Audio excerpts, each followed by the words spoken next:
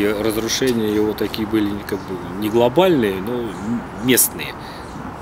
Позавчера обвалилась там стена в цокольном этаже, просто выпала. Позавчера. Позавчера, наружу выпала. Там часть разрушена она была до этого, то есть разрушалась постепенно, выпадала, там оконные рамы, видимо, потому что перекрытие проседали, вот, задавливала раму, и раму просто сломала, то есть выдавила. Она выпала, разбилась, ее образовалась, естественно, пролаз такой горой. Пришлось там загораживать там какими-то каким-то хламом, чтобы ну, хоть как-то воспрепятствовать свободному проходу граждан. Все-таки мы охраняем здание, отвечаем за его целостность, сохранность. Вот, потому что попытки проникновения в последнее время участились. Вот, поэтому был усилен пост парный. Пост здесь был организован, чтобы отпугивать граждан. Ну, не отпугивать, просто их как бы не допускать их возможности проникновения в здание, в там хищения имущества и э, каких-то вандальных действий, потому что и могли быть и поджоги неумышленные, понимаете, и так далее. Но дело пошло еще дальше. Говорится, опасались одного, а по факту, видите, такая катастрофа практически произошла. У меня пост находился перемещенный в центральную часть здания, вот на уровне как бы второго этажа. Окна сейчас просматривается. Отсюда был перемещен в центральную часть для того, чтобы контролировать как раз места возможного доступа, понимаете, извне. Вот. Э, и вчера вечером ребята мне отзвонили, говорят, что пошли такие, ну, очевидные трески, да, по зданию. То есть трещало здание, вот, понимаете, вот как вот деревья в лесу трещат, так трещало здание. То есть предупреждало, валите отсюда. Иначе будет э, что-то. Ну вот они быстренько подобрались, даже вещи, да, не забрали. Просто ретировались вот сюда, в безопасную часть здания, в левое крыло. У нас пост здесь вот находился изначально. И, Виктор Алексеевич, после вот сколько прошло времени вот произошло обрушение?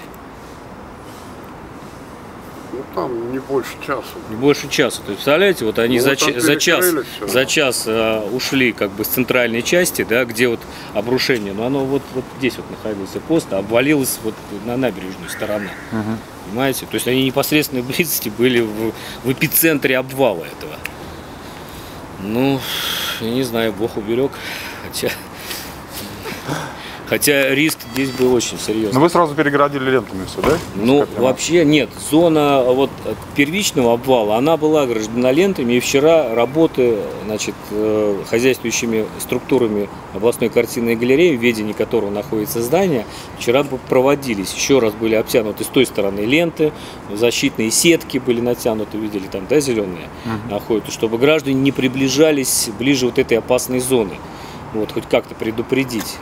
Но вот вчера до вечера здесь был, заезжал, все равно попытки там отдельных, особо подростков, там, молодежи были подойти ближе, преодолеть даже вот эти сетки с целью там, посмотреть, что там интересно. То есть любопытство, оно с- страх не ведает, понимаете?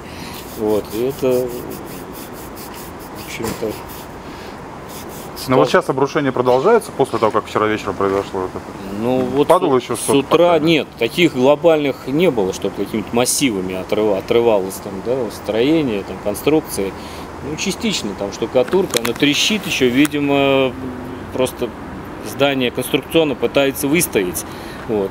Сейчас, опять же, смотря погодные условия какие, возможно, опять сейчас, если дожди придут, еще промочит, да, в этих местах, где уже прослабли все вот эти соединения, крепления конструкционные. Возможно, что еще будет обрушение, то есть оно продолжится. Даже корабли, когда приезжают вот, гости, все равно, конечно же, жалко то, что не ремонтирует, никто ничего не делает.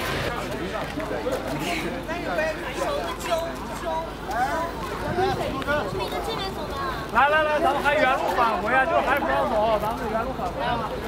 Hello.